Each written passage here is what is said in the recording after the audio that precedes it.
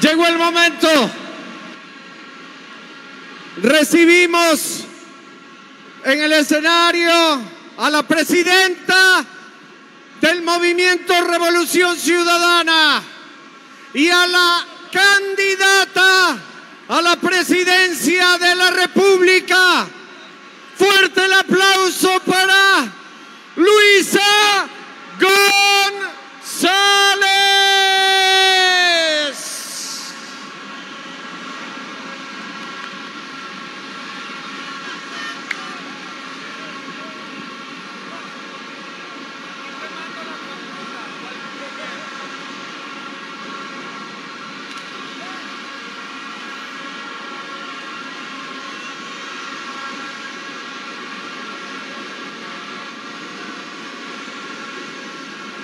Gracias. Hola. Gracias a todos ustedes. Gracias. Gracias. Gracias. Gracias, queridos compañeros, hermanos, amigos. Gracias por darse cita aquí. Gracias por mantener la fe y la esperanza en que esto va a cambiar. Y voy a empezar dando gracias a Dios. Gracias a Dios y un clamor de que incline su oído y escuche el clamor de una patria que se desangra, que necesita esperanza y que mantenemos la fe en que Dios escucha ese clamor y que esto va a cambiar. Gracias a nuestro presidente Rafael Correa Delgado.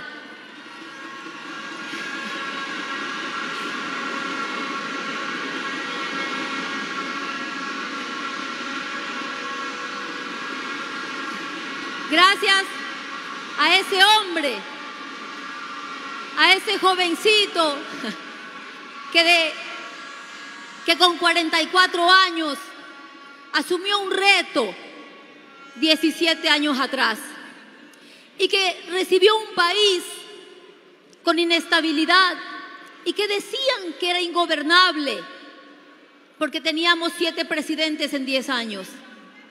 Pero Ecuador nunca fue ingobernable. Ecuador fue un país que se resistía a ser engañado y a la mentira y llegó Rafael Correa y nos enseñó el valor de la palabra, el valor de la verdad y empezamos a trabajar por una patria en donde su gobernante decía algo y se hacía. Esa es la revolución ciudadana y esa es nuestra carta de presentación. La verdad. Somos gente de honor, de palabra, de verdad, de manos limpias, de transparencia. Y eso nos dio 10 años de paz, de estabilidad, de seguridad, de crecimiento económico, de empleo. Y eso es lo que aún está en nuestra esperanza, en nuestros corazones, y es la razón por la que todos ustedes se han dado cita aquí, porque sabemos que sí podemos cambiar la situación del Ecuador y volver a la senda del desarrollo, gracias a nuestro presidente y líder de este proyecto político, la Revolución Ciudadana.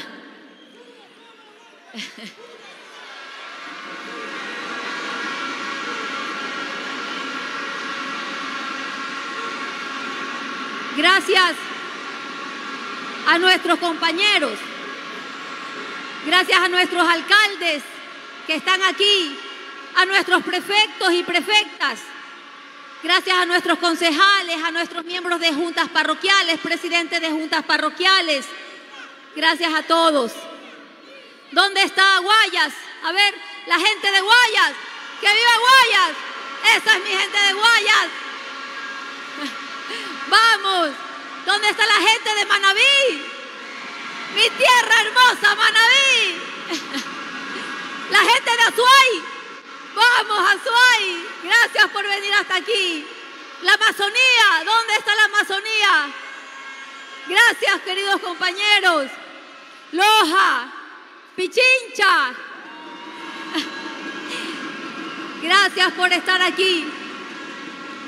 Hoy nos vestimos de patria. Gracias a ustedes.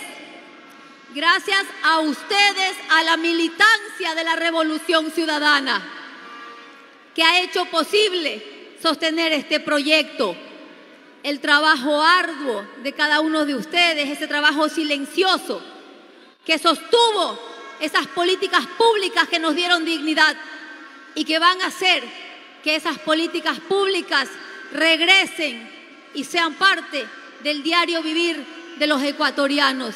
Gracias, querida militancia, porque por ustedes se sostiene esto, y por ustedes, y con ustedes, y para ustedes, y para la patria entera, vamos a devolver la dignidad a los ecuatorianos.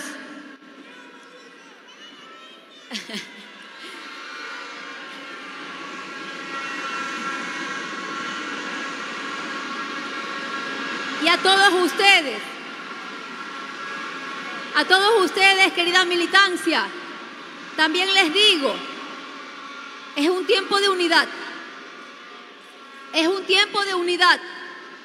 Y cuando hablamos de unidad, hablamos que la primera unidad es la nuestra, la de la familia de la revolución ciudadana.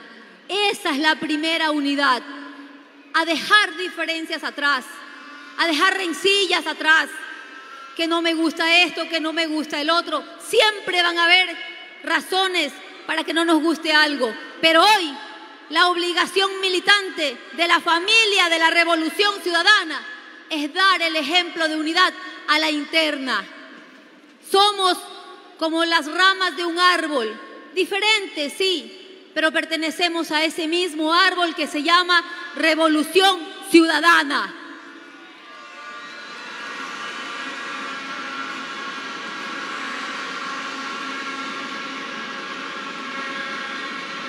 Y esa unidad, esa unidad que ha nacido desde nosotros primero, es una unidad que también la hemos llevado hacia afuera. Y hemos invitado a diferentes organizaciones políticas a unirse a un proyecto de patria, a un proyecto que tenga como eje central la verdad, la justicia, la honestidad, la transparencia, los compromisos que se cumplen. Y en esa unidad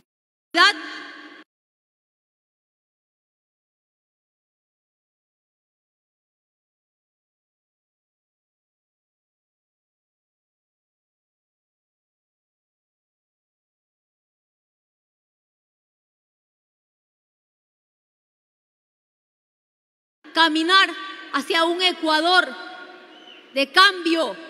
Porque ¿quién aguanta cuatro años más de lo mismo? Nadie aguanta cuatro años más de lo mismo.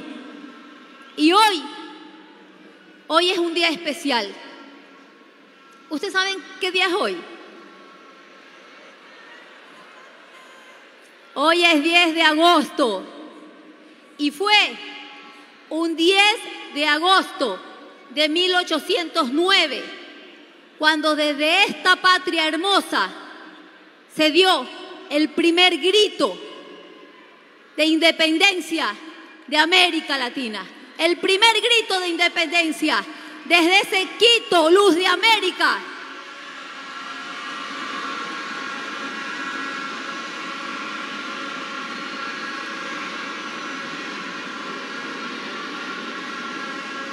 Desde ese Quito Luz de América, desde esta patria hermosa, vino el primer grito de la independencia.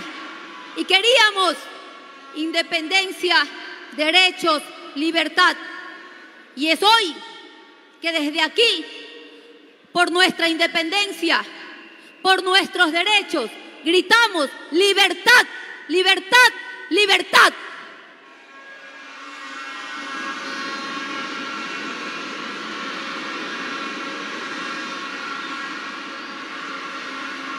Esa libertad, esa libertad que anhelamos, que no es cualquier libertad, que no es la libertad que nos quieren vender para hacer ciertos negocios y tomarse los poderes del Estado, para no pagar sus impuestos, para asignarse a la familia los contratos públicos.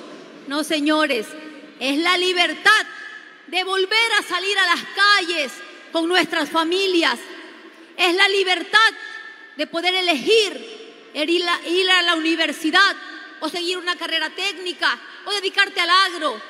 Es la libertad de quedarte en tu casa y saber que nadie va a irrumpirla, que no te van a matar y que tus hijos van a llegar tranquilos.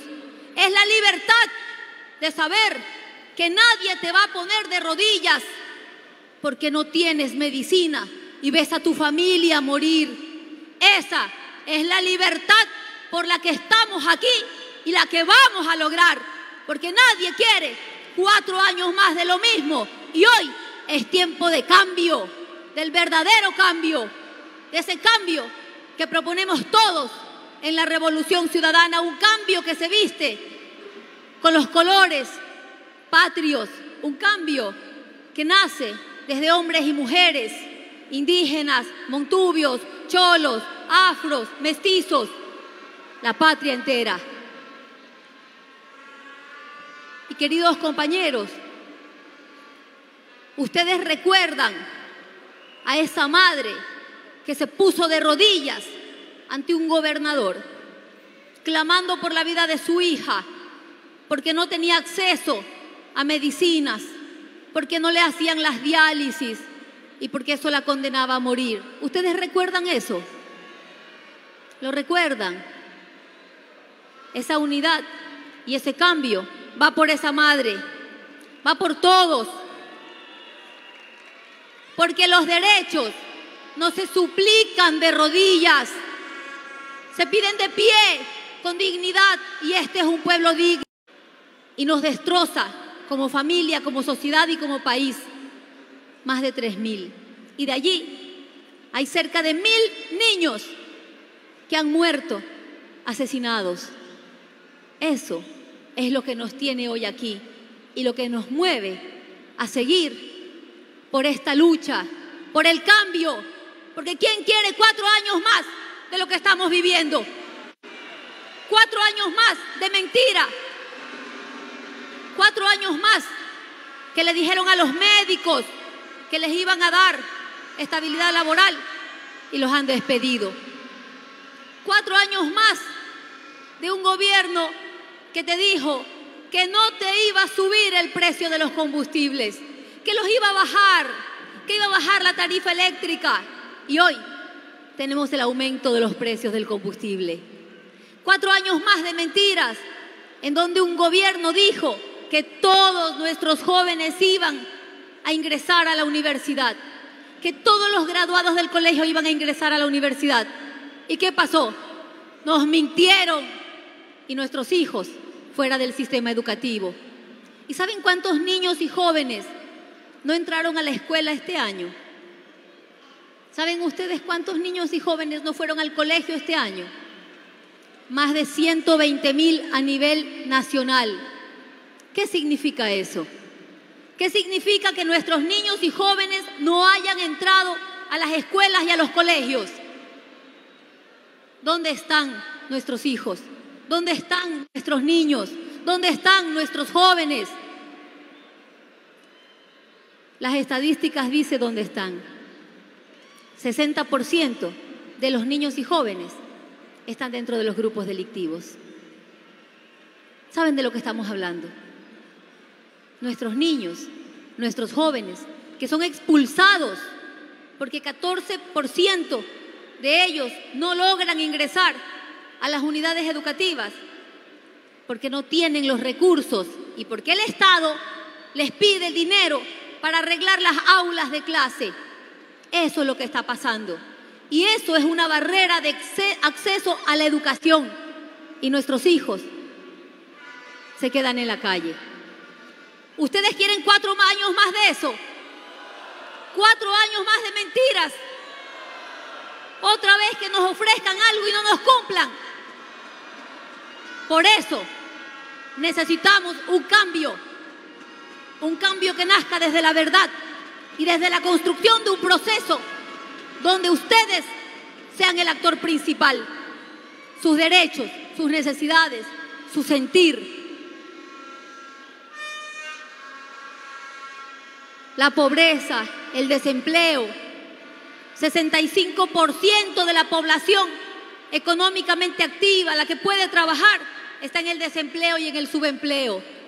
Y con eso que se provoca la migración y nuestros hermanos se van del país.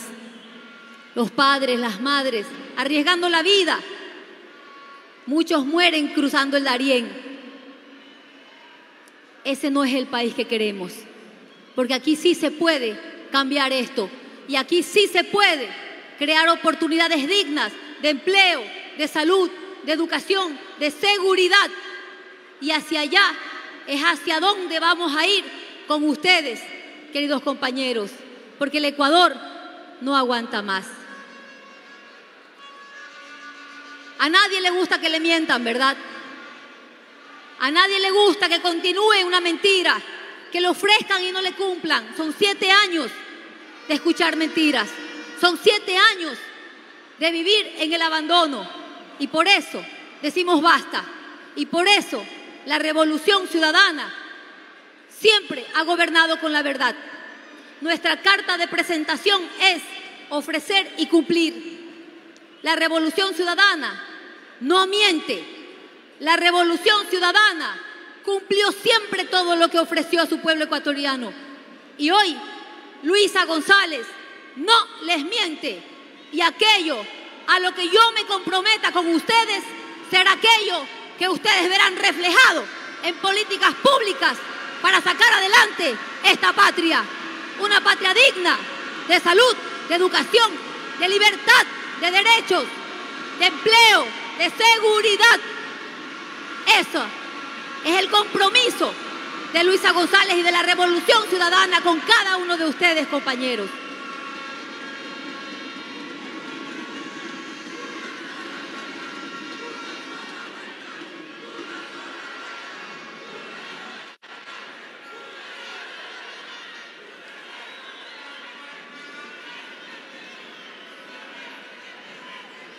Es tiempo de parar la mentira. El Estado no puede ser para beneficiar una familia. El Estado no puede ser para dejar olvidado a nuestros agricultores y que mientras a ellos no se les perdona una deuda que vienen desde la pandemia, la fortuna más rica de este país no paga sus impuestos, mientras a nosotros nos suben el IVA, mientras a nosotros nos vuelven más cara la vida. La fortuna más grande de este país y que pretende seguir gobernando no paga sus impuestos. Mientras exista esa unión entre el poder político y económico, no vamos a salir adelante. Mientras la economía popular y solidaria sigue aplastada, entregan el contrato prácticamente a dedo a la familia más rica de este país. Y miren a ustedes a quién se le entregó el contrato de alimentación escolar, mientras la economía popular y solidaria sigue cada vez más comprimida y no le dan espacio para dar sus servicios. Y le mintieron porque a ellos también les ofrecieron que la alimentación de los niños en las escuelas la iban a hacer con la economía popular y solidaria, con los agricultores fue entregado a una sola familia. Esas mentiras van a parar. Y van a parar de la mano de cada uno de ustedes. Y hago un llamado a todos los sectores, al de la transportación, a la de la economía popular y solidaria, a los ambientalistas, a las organizaciones sociales, a los feministas, a todos para construir esta nueva patria, porque hoy comienza el cambio, el verdadero y definitivo cambio, el cambio con ustedes, el cambio por la justicia, por la verdad, por la seguridad, por el empleo, por los derechos de 18 millones de ecuatorianos. Que Dios bendiga a Ecuador y hasta la victoria siempre, compañeros.